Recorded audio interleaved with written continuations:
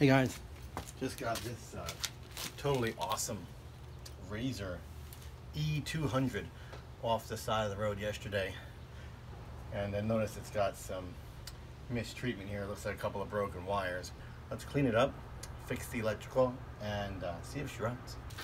First thing I'm gonna do is use a simple wire cutter and open this wire up to have a look. I think it's a dual wire, so below the rubber shielding, I think there's two wires. So we want to be real careful that we just cut away the outer core, the outer edge of this rubber shielding to reveal inside. And I'm right. There are two wires inside. I don't know if the camera can show that, but it's red and black. So we're gonna separate that on both sides and then I'm probably gonna try to do two individual splices, one for each wire. First thing I'm gonna do is individually strip. Uh, that's the word I was looking for before. Strip the shielding off of each wire. Okay, ready? We're gonna do the first one. This is the red wire where I crimp this little sucker. I'm using a, a serious uh, crimping tool here. You don't need one of these. You can use a much uh, cheaper, just little manual crimp squeezing tool there.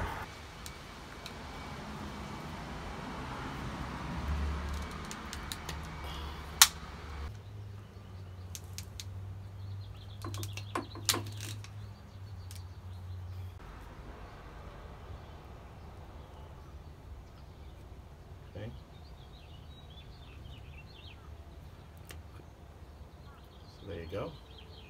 Two uh, really pathetic bullets. I'm just gonna wrap this in electrical tape. And I'll probably, in the future, cut this off, strip them more so they'd be separated, and use nicer shrink wrappable bullets, which I would hit with a heat gun, and they would shrink nicely.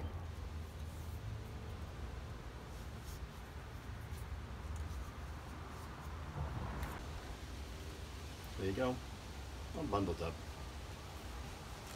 Super. So just a little zip tie. Keep things neat so they don't get caught up when it's being rode, ridden, rided. I don't know. There you go. Nothing like a couple of zip ties to keep things neat and tidy. Just cut that right there. Next step is going to be to get it charged. I'm going to put it on the charger right now. Of course, I've never actually seen this bike function, so who knows if it'll work. Let me just hook this all up right here.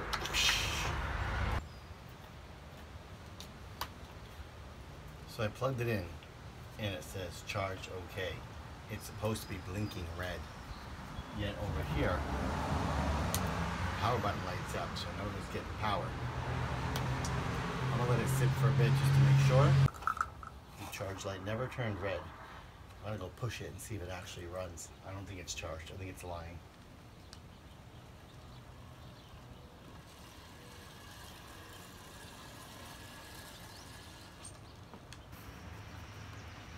Nope, not running.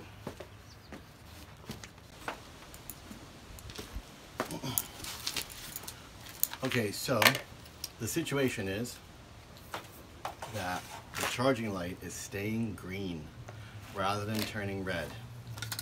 Nerds on the internet claim it's a defect in the charger, but it's actually charging.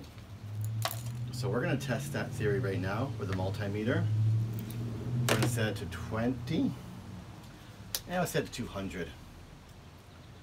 And let's find out what it reads. I think it should read 24.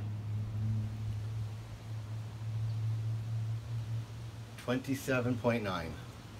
Close enough. So in fact, even though the light is green, it's actually putting full charge into the scooter. So we're gonna take the screws off and have a look underneath. See what's going on.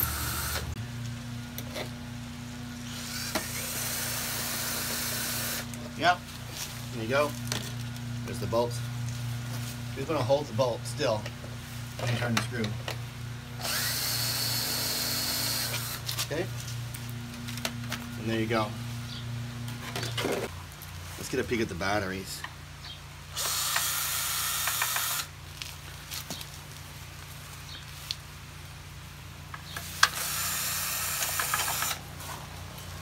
There you go. Two 12 volts. You can get these replaced on eBay. And um, probably going to do that, but just want to make sure they're charging properly. Make sure the charger is working. I may take them out and try to charge them with a different charger, like a normal charger. The first thing I want to do is, is make sure they even have a charge at all. So we're going to just unclip them right there. I think they're in, a, in series, so we got to be real careful about unclipping them and getting them out. There's almost no room for them. It's so tight. There you go. There's one. There's the other. It's uh, attached to the charging switch. So you just want to get that off. Where's this one going? Down there, that's tight too. Got it. So now, there you go. Here's your two batteries in the circuit together. I'm gonna stick the black in the black and the red in the red.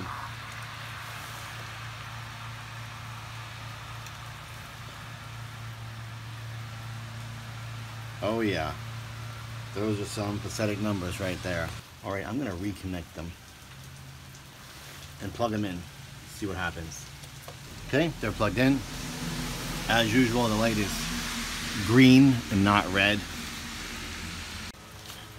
Okay, so now since it's plugged in, let's see what's actually happening here. We're gonna stick the black in the black, the red in the red, and look for some juice. 17.4 volts. So the battery charger is sending power to the batteries. The fact that it's staying green the whole time perhaps means the batteries are no good. It's trying to tell us the batteries have failed. Okay, despite my best efforts, I could not get these batteries to charge. So I took my clippers and I cut the wires off. So I'm left with this. And I'm going to take these off and replace them with new batteries. Goes red, black, red, black. Here are my two new batteries. Link to these batteries in the description and we're just going to crimp on new attachments to these wires right here. So I'm going to take four that look like this and I'm just going to crimp them onto the current wires making sure they fit snugly which they do. So let's get started.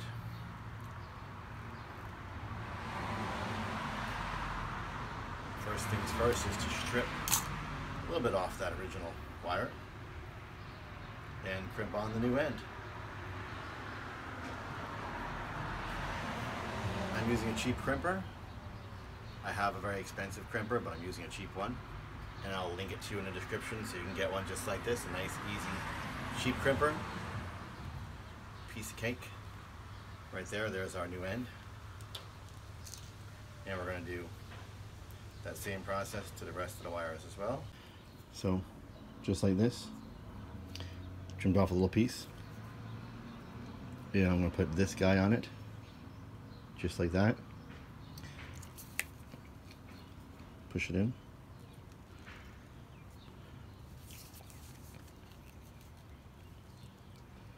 And crimp it on.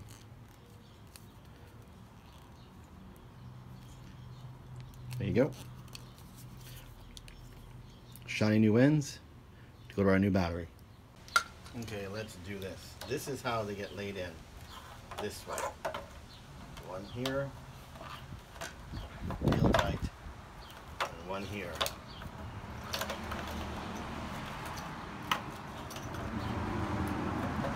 Again, real tight. Like that. Real tight. getting this thing hooked up is um, going to be a little less than fun, but we're going to give it a go. Long one to the back, okay, right there.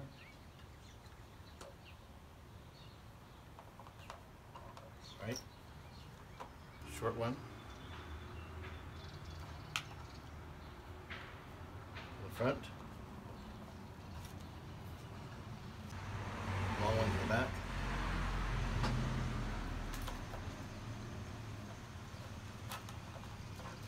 Now we're going to lay this down carefully in the back, like so. Lay this one down carefully in the front, like so, but after we connect the red one.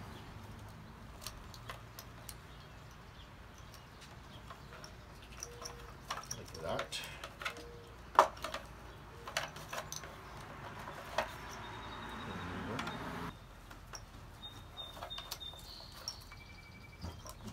Let me the rest of the stuff back in.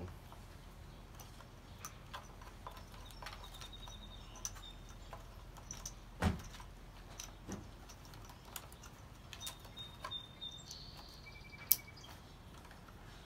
know it was hard to see exactly how I wired this, but when you take yours apart, just take pictures of it. Take pictures of everything, and you can go back and reference how it was wired. It's not terribly confusing, but it can become confusing if you don't remember. And it's super hard to get a good clean angle of this job. But if you take pictures of it, you won't have so much trouble remembering where everything went. Now to put stuff back on the uh, little breaker switch of a majiggy here. Red on the bottom, black on the top. Again, I only remember this because I took pictures. We're gonna plug it in and see what happens.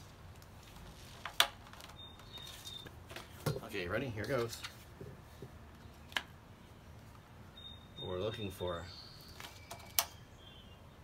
is this light to turn red to mean it's charging instead of green. And there it goes, the light is red. So the batteries are actually properly charging now. I'll wait a gazillion hours and I'll be back with the results. Alrighty, after a few hours it says charged okay. The light turned green. So I just put this on and stuck two bolts just finger tight so I can go test it and if it works, I'll button it up nicely. Let's find out.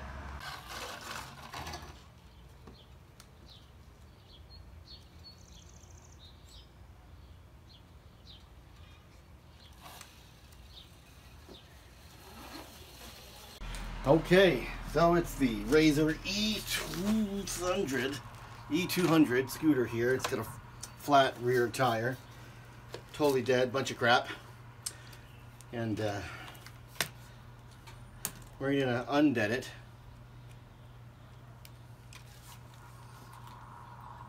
First things first, it looks like you're gonna remove this panel right here.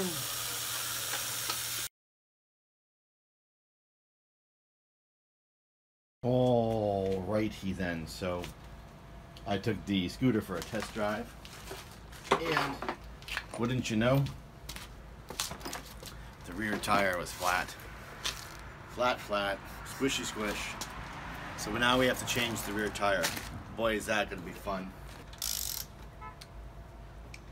I've got the scooter up on a milk crate, a 17 millimeter socket, and we're gonna get this rear tire off change the tube and inflate the tire. I'm going to teach you a trick that you may or may not know about your scooter.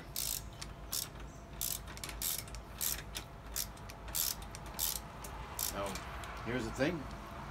When you take this off, there's lots of different parts. There's lots of washers, nuts and bolts and such. I would put them down in order so you remember how they came off. Because that's what I'm going to do. Pull that through. This one was on the inside. There you go. I'm actually going to put a little separating piece so I remember it was on the inside. This is on the outside. yank this sucker off. Inside spacer. Now we're just going to take it out of the drum brake there and work the chain off. There you go. Two spacers. First thing to do, put these three screws out. I had trouble getting them out using the Phillips head, so I am going to use a small socket, 5 16 instead. I think that will uh, serve me a lot better as the Phillips head screws were just stripping. So you can use a ratchet like I just did, or don't lose the pieces. You could use a very cool adapter for a power screwdriver like this. I'll link to it in the description. I'm going to use a step down to make it smaller. I'll link to that as well. Put the socket on that and then put the whole adapter in the screwdriver. Be careful because you need a good grip or else this will the whole wheel will turn and you'll cut your hand up. So be gentle. Make sure you get it started. As you can see, it wanted to do that. A washer fell in there.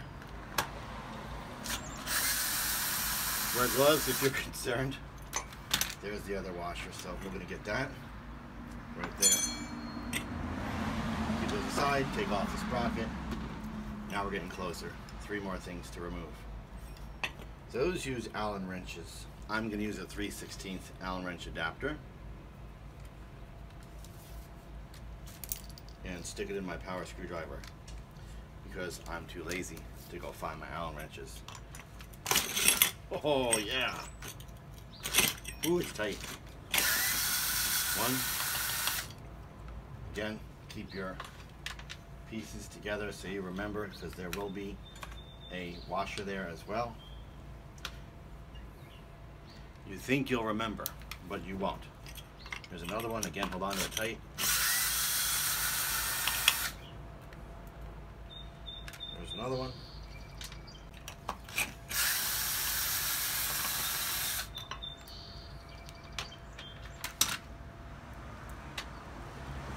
And the particles.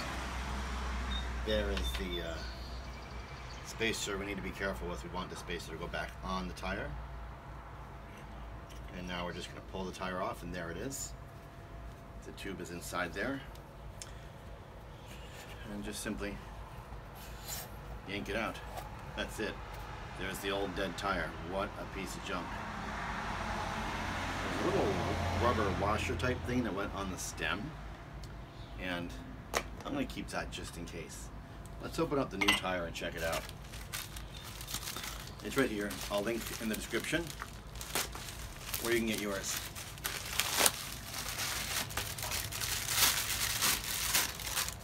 This is a Kenda tube 200-4 or 200 star 50. That's how you'll see it listed on the internet most of the time, like 200 star 50. Let's open this thing up and see what it's all about. Oh boy, okay, there you go. So yeah, no no rubber washer on it. So I'm going to take this rubber washer and slide it on right over the nipple. It fits perfectly. Hopefully you can see that. Just gives it a little protection. And then we're going to stick it in the tube. This should be fun.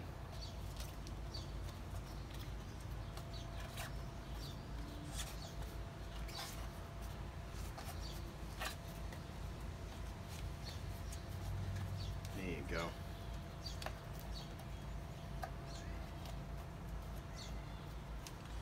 Now let's uh, blow it up a little bit and see it work.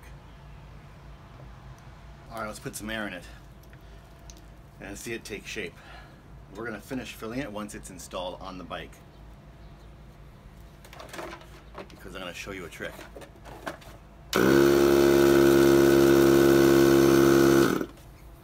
Wow. Fancy, really cool. Nice. Put it back on. When the tire's blown up, you're gonna notice there's actually an indentation where the original little rubber kind of washer type thing was on the original tire. So I'm keeping it on since the space is there for it. Let's put it back together and see what happens. Now I may have blown up too much and have to let some air out, but we'll see. Putting this through here so that'll keep the spacer in place. Sliding the tire over it. Sliding this over the tire. Lining it up with the fill valve. Okay, now we're gonna put these back on but you may have put too much air in the tire, so you're gonna have to press a little out to do that. It won't take much, as you can see.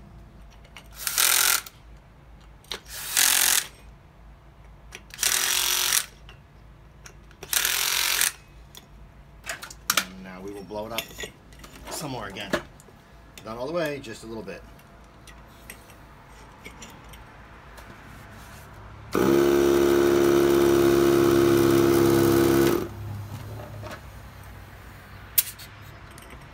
I did 20 psi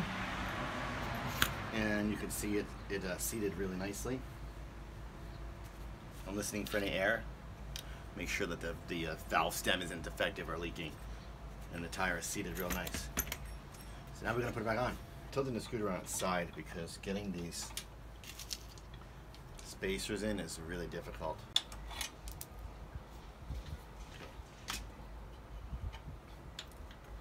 So to put the tire on, it, the, the spacer on is really hard. I'm going to pull this disc brake down and I'm going to put the spacer on and the tire over it. And then I'm going to put these spacers in order. Small black washer, silver washer, large flat metal washer, small black spacer and then we're going to set it up like this. That's the way it's going to be installed. Just as just as low as physically possible and then swing the tire over. You may need to lift a touch and push through. You'll get through the spacer. And I'm just going to jimmy it a little bit because you're going to get through the spacer and the tire as well which can be challenging, but you can do it. And there you go. I'm through both spacers. Now to put the chain on, we'll start at the top and just slowly turn the tire and sink the chain onto the wheel. Don't rush it, it will go. There you go. The chain is on. Time to finish the job with the larger spacer, which will push in right there followed by the large metal flat washer. We're going to push the screw through. The metal washer and then the lock washer and then the final nut. When you tighten this you want it pushed all the way up. You want this tire locked all the way up.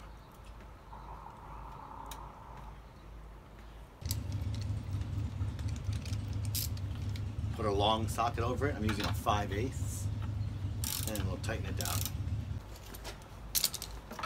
Now to finish the tightening, you may need to hold that bottom bolt with a wrench of some kind.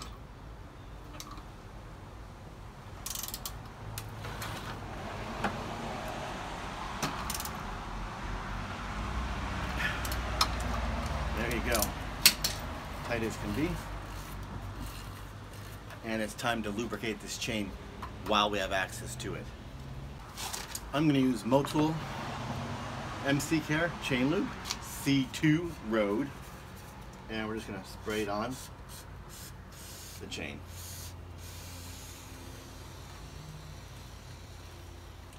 I want to give it a little bit of a brush with a, this is a chain brush. I use this for my motorcycle motorcycle chain is larger. You can get inside like this and scrub both uh, the, the back and sides of the chain. This chain's a little small for that method to work, but uh, I'll take what I can get just to give it a bit of a scrub and some good old lubrication. And of course to prevent rust. So there you go. Now that the tire is on, the real trick is how do we put the rest of the air pressure in? How do we reach that? How do we do it? Well, here's the trick. See this right here?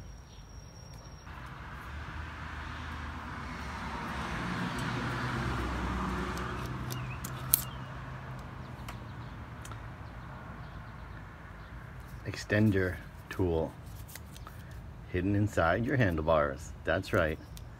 There it is. I take the extender tool, screw it on the stem.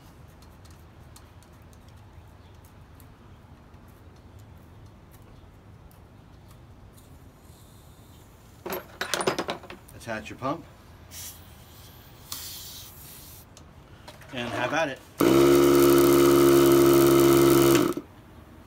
That's 35 pounds right there. Doesn't take much. When you're done,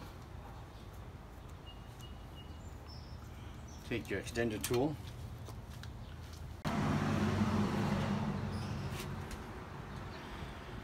stick your tool back inside your handlebar and stick it back in here.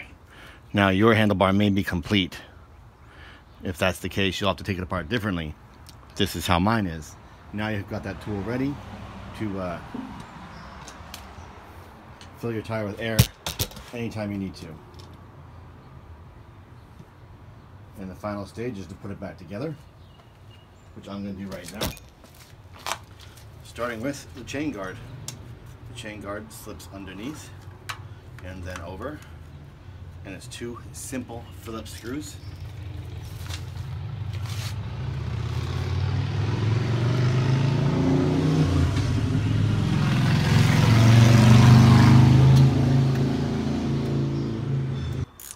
Gentle because the threads are metal, but the chain guard's plastic. So it'll be all too easy to crack the chain guard and then it won't stay on. So just firm and that'll do it. Time to stand the bike up, put the cover back on and give it a test run.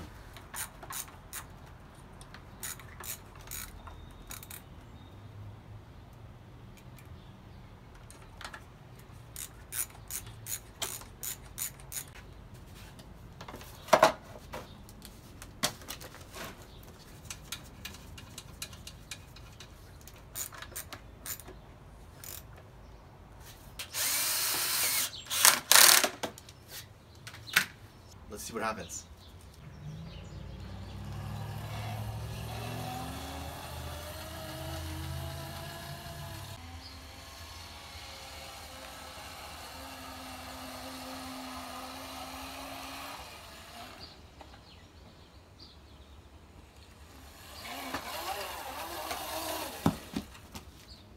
It works.